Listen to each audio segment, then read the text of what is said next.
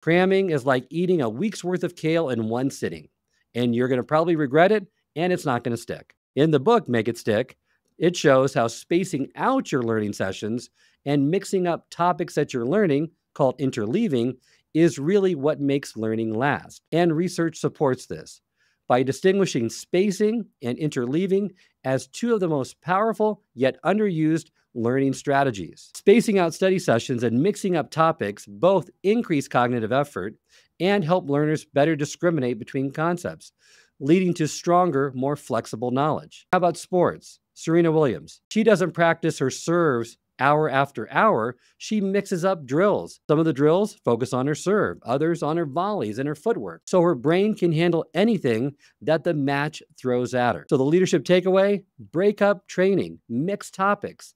If your team says, wait, what are we doing? You're on the right track. Spacing is like letting bread dough rise. Sure, you can bake it right away, but it's going to end up like a brick. Give it time, and it's actually going to be something you might want to chew on. Think about mini sessions. Spread learning over weeks, not hours. You and your team's brains and their coffee budgets are going to thank you. Mix it up. Change the order of training topics.